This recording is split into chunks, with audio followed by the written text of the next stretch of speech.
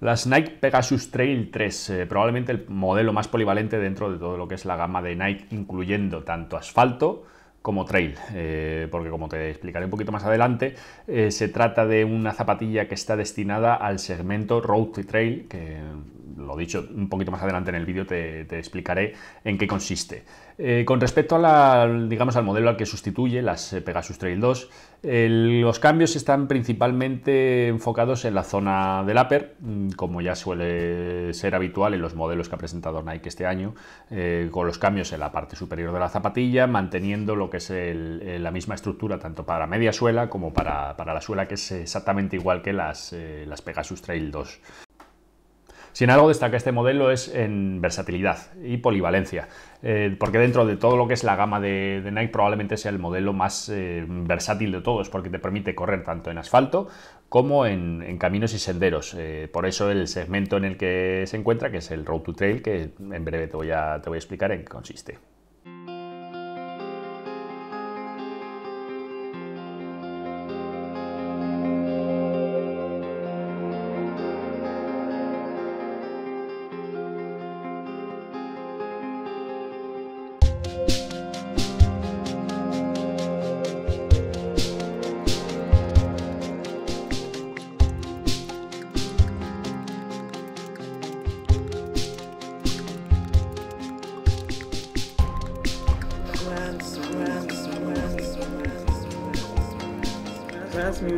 Basically a form of music which, when someone listens, goes into a state of trance.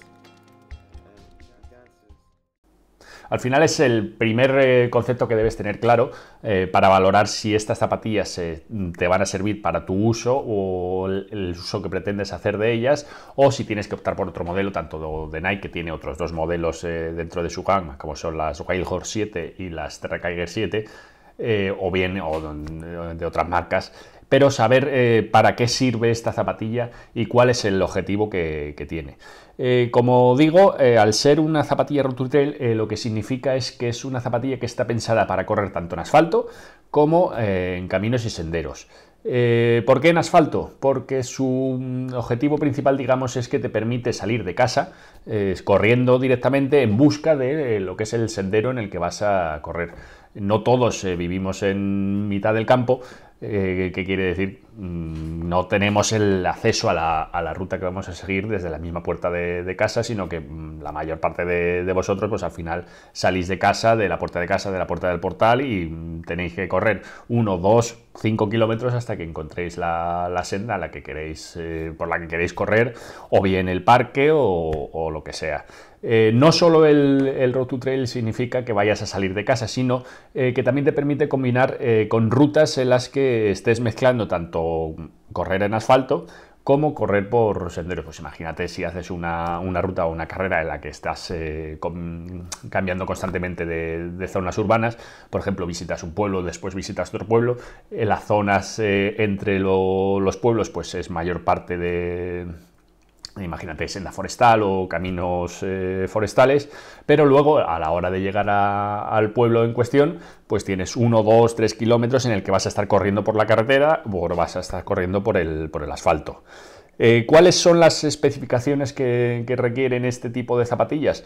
Eh, pues principalmente mucha amortiguación porque eh, no deja de ser una zapatilla que tiene que estar pensada para el asfalto, es decir, necesitas tener una buena amortiguación que es algo eh, que es más reducido en, la, típica zapatilla de trail. Aparte, la suela tiene que estar preparada para correr en asfalto, que es mucho más abrasivo que el, terreno habitual del campo. Eh, si nosotros corremos con una zapatilla de trail puro y hacemos mucho segmento de asfalto, pues probablemente vamos a terminar con, un desgaste bastante acusado en la zona de la suela, precisamente por eso, porque estamos traccionando sobre el asfalto o abrasivo y eso pues hará que todo el taqueado específico que tengamos para, barro, para roca, para, lo que sea, pues lo perdamos. Eso es, eh, digamos, el concepto road to trail. Así que ya sabes eh, para qué puedes utilizar estas zapatillas y cuál es el, uso indicado. Eh, vamos, si te parece, con los cambios para que veas eh, no solo los cambios, sino explicarte un poquito cómo es la composición de la zapatilla. con respecto a las Pegasus Trail 2 en, el upper, realmente lo que ha cambiado es de la zona del final del antepié hacia atrás. la parte delantera permanece igual con la puntera reforzada eh, que es una, puntera de goma que si te fijas viene de la misma suela, es decir, la suela se, extiende sobre la parte frontal de la, zapatilla y incluye una, puntera que nos servirá pues, eh, para zonas de, rocas, para bajadas, eh, etcétera, para no dañarnos en la parte frontal de los dedos.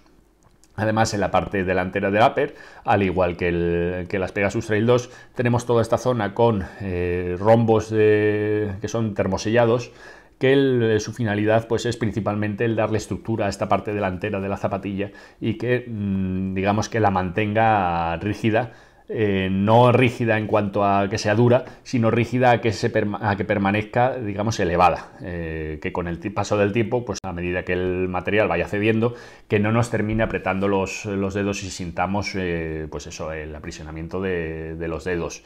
Eh, especialmente pues, después de pasar muchos kilómetros corriendo, en los pies se, empiezan a hinchar, que esa es otra particularidad de estas zapatillas, que la zona delantera del, del antepié es bastante ancha, es decir, no vamos a tener sensación de eso, del típico obvio que podemos eh, tener con una zapatilla estrecha, que después de a lo mejor correr 30-40 kilómetros, pues el pie ya se, ya se hincha y no tienes espacio para correr. Eh, como digo, esta parte delantera pues es la misma, en cuanto al material tenemos una doble malla, que es eh, una doble malla pues parecida, por ejemplo, a las que tenemos en la, en Pegasus 38. Eh, la diferencia es que en este caso sí está bastante más ventilada, eh, está mucho más perforada y a pesar de ser eso, una malla externa y una malla interna que hace de, digamos, de calcetín, no es esa sensación a lo mejor de, calor que sí que nos puede pasar con las, con las Pegasus de asfalto. Como digo, los cambios vienen de la parte, digamos, un poquito media hacia atrás. Eh, empezando por eh, los cordones. Eh, aparte de que los cordones pues, son también nuevos, son unos cordones bastante anchos y planos con buen tacto en general, pero el cambio principal está en el sistema de, fijación con el pie y de apriete. En, las Pegasus Trail 2 teníamos el flywire, que es el, método habitual que, teníamos en Nike pues, todos estos años y que se sigue manteniendo, por ejemplo, las Pegasus 38 sigue manteniendo el, el. Eh, pero la diferencia aquí es que tenemos una pieza de goma que está termosellada a, la malla externa de la zapatilla y tenemos eh, dos ojetes delanteros y un ojete trasero. Finalidad de estos tres ojetes, eh, los dos delanteros y el trasero, es cerrar la zona de malla y fijar en, la zona de la lengüeta al pie. Y si te fijas, aquí tenemos dos, digamos, dos extensiones de, de, nylon que vienen de la zona interna de la zapatilla en la que hay una banda bastante ancha que va eh, todo en el lateral de, la zapatilla que lo que hace es fijar el pie con la zapatilla. Es decir, eh, recapitulando, tenemos el cierre eh, de la parte superior y luego la fijación del pie en la propia zapatilla. ¿Cuáles son las ventajas de, este sistema? Pues que en función de dónde apretemos más el cordón, si queremos más fijación a la zapatilla o menos, podemos cerrar más eh, tanto por delante como por detrás si queremos llevar la zapatilla bien cerrada, pero a lo mejor dejar un poquito más suelto si queremos que el pie nos pueda, digamos, bailar un poquito en, la zapatilla, pues eso ya es en, función al gusto. ¿Dónde hay más cambios? Eh, si vamos hacia atrás, el collar es bastante más mullido de lo que era la, eh, las Pegasus Trail 2. Eh, eso tiene eh, dos, lecturas. En primer lugar, por comodidad, pues evidentemente al estar más mullido va a ser más cómodo. Y en segundo lugar, por fijación. cierra más la zona del talón y el talón queda más, más fijo. También ha crecido lo que es la lengüeta. En, en, las Pegasus, en las Trail 2, la zona del, trasera del collar era un material como neopreno. En este caso, pues tenemos una lengüeta tradicional que además está bastante mullida en la parte, en la parte superior, con lo cual al hacer la lazada eh, del, cordón no nos va a presionar en la zona del, medio pie no va a ser, eh, no va a ser incómodo. Eh, y ya por último, pues en la zona trasera también ha cambiado el, tirador de, nylon. Antes era una cinta un poquito más larga, aquí ha cambiado el diseño. Y lo que hemos perdido con respecto a las eh, Pegasus Trail 2 es que tenían una especie de una pequeña polaina eh, del propio material de, neopreno del collar y de la lengüeta, que en este caso pues lo perdemos y tenemos un cierre tradicional. En ese caso yo lo he echado de menos porque eso te protegía un poquito de la entrada de piedras, de tierra, de, plantas o similares. Y en este caso es totalmente abierto, así que llevas tú unas eh, o un cubre calcetín o unas polainas o algo similar, o vas a tener que estar quitándote la, zapatilla con bastante frecuencia para sacar toda esa porquería que vaya entrando y que se te queda justo ahí en la, planta del pie. Te recuerdo, si te está gustando el vídeo, ya sabes, botoncito de, like, porque eso va a ayudar un montón a, que la distribución del vídeo pues, se haga a más, eh, más personas cuando hacen la búsqueda. Y si te gustan los vídeos que, hago y los análisis que hago en, mi canal, evidentemente, suscríbete al canal y así no te vas a perder los siguientes análisis que, vaya publicando. Así que ya sabes, botón de like, botón de suscribirse. Bueno, vamos con la media suela, que es eh, toda la zona intermedia de la zapatilla que mm, yo creo que es donde está el, secreto del funcionamiento y de para qué sirven estas Pegasus Trail 3. Eh, es igual que, las Pegasus Trail 2, el concepto es el mismo. Y lo primero que destaca es la altura. Es una zapatilla que es muy alta eh, para lo que es habitual en, trail. Eh, medidas son 21 milímetros delante, 31 milímetros detrás, que hace un drop de 10 milímetros, que es el, drop habitual de, una zapatilla de, Nike para, asfalto, pero eh, que es mucho más elevado de, con respecto, por ejemplo, a otras zapatillas de trail de, Nike, como los que te he comentado antes. Por ejemplo, la Terra Kiger, si no recuerdo mal, eh, tenía atrás 16,5 milímetros. Es decir, aquí tenemos 31, pues es prácticamente el doble de altura. Eh, ¿Partes negativas de esa altura mucho más elevada? Pues evidentemente lo primero de todo que vas a pensar es la estabilidad. ¿Cómo es la estabilidad de esta zapatilla eh, con tanta espuma debajo del, pie? Eh, pues eh, yo personalmente no he tenido problemas porque el propio diseño de la zapatilla está hecho para que no haya, haya, problemas con la estabilidad. Eh, para empezar, eh, por la anchura de la, base. Si tú te fijas cuando miras la, zapatilla desde arriba, eh, se puede apreciar cómo la media suela em, sobresale un poquito de la zapatilla, un poquito en la zona del, del antepié, pero sobre todo en la zona del talón, es mucho más ancha que el, propio talón. Eso hace que cuando nosotros pisamos con la zapatilla, pues estamos pisando dentro de eh, lo que es la propia media suela que actúa como un flotador lateral. Eh, por mucho que nosotros nos hundamos, pues seguimos teniendo un poquito de, material en los extremos, con lo cual no termina de vencer. Segundo, segunda parte del diseño de la media suela que favorece la estabilidad, eh, si te fijas también la curva que hace la, la media suela, eh, recrece hacia afuera, es decir, eh, la mediasuela nace directamente al terminar el, el, upper, pero a medida que va bajando es cuando va ensanchando, es decir, va creando la base sobre la que nosotros vamos a ir pisando, tanto detrás como un poquito menos marcado delante. Es decir, mm, tenemos forma de, falda que va ampliándose para, dotar de estabilidad. Problema que podemos, eh, vamos, que podemos, que tenemos con, este, este diseño y tanto material, pues evidentemente el peso. No es una zapatilla ligera. En mi talla 46, que es una 12 US, eh, son 364 gramos, que como digo, pues eh, es una zapatilla que se nota mm, pesadita. Eh, ¿Es un problema? Pues yo creo que no, porque dentro de, para qué está orientada la zapatilla, que es principalmente la comodidad, no me parece que sea algo, algo demasiado a tener en cuenta, que evidentemente todos querríamos tener una zapatilla más, eh, más ligera, pero si aligeramos el, peso, pues al final tenemos que sacar peso de, algún sitio. Eh, sería de un upper menos duradero o de una media suela menos cómoda, y si queremos comodidad, que para eso es el diseño de esta zapatilla, pues al final hay que, hay que meterle peso. En cuanto a la media suela, es eh, toda ella de, espuma React, que es eh, la, espuma que está utilizando en la mayor parte de, los modelos actuales de Nike.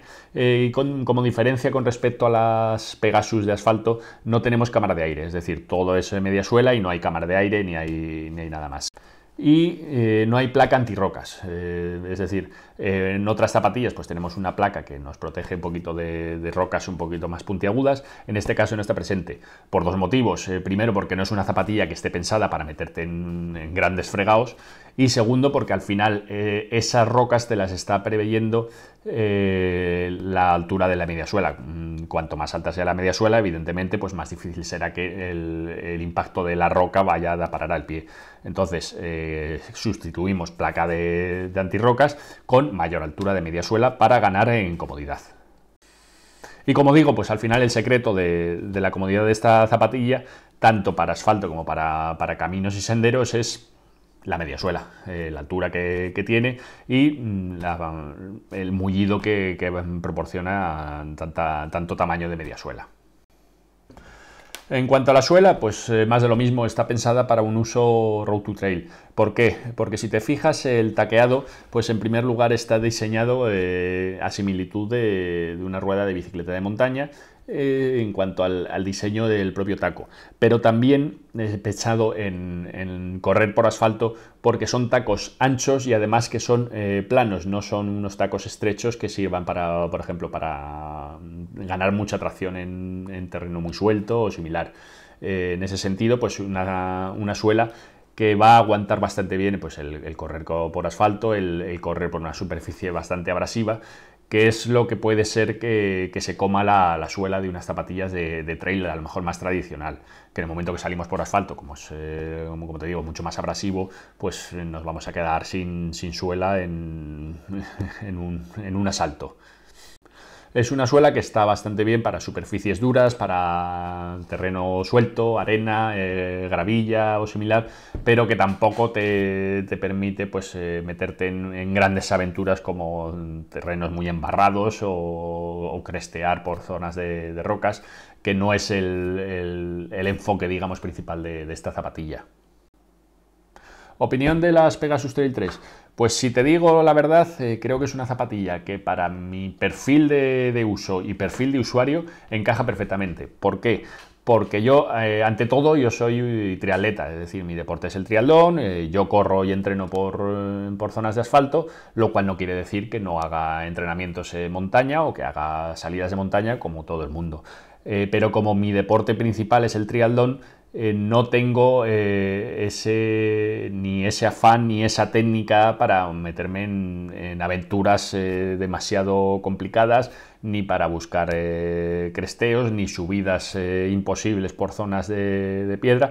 Con lo cual, mm, el uso que yo voy a hacer en campos, la mayor parte tirada larga, a ritmos tranquilos, eh, como mm, pues, entrenamiento de, fin de semana, que es precisamente para lo que está diseñada esta zapatilla.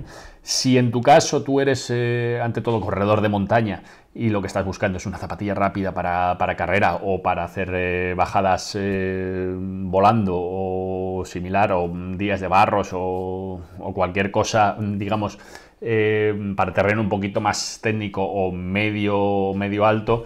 Eh, entonces, eh, decirte que la Pegasus Trail 3 no es una zapatilla que te vaya a ir bien, porque, como digo, es una zapatilla polivalente que está pensada para, para mezclar tanto asfalto como mm, caminos y senderos.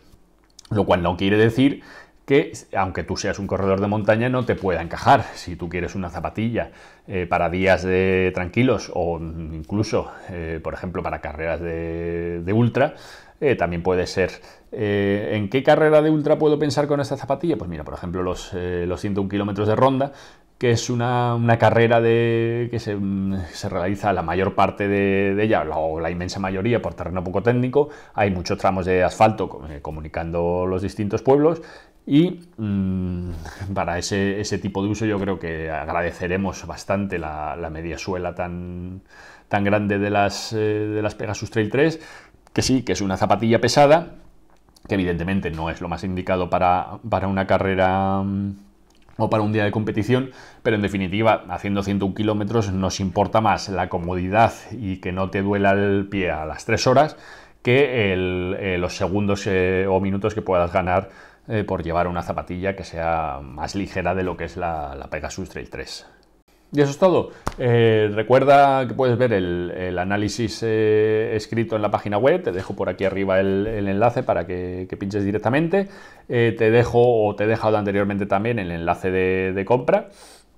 Y lo que te he dicho antes, si te ha gustado el vídeo, pues dale ahí abajo al, me gusta porque te lo agradeceré un montón porque sirve un montón para, para el vídeo y ayudará también un montón al canal. Y nada más, agradecerte que hayas llegado hasta aquí y nos vemos en el próximo. Un saludo.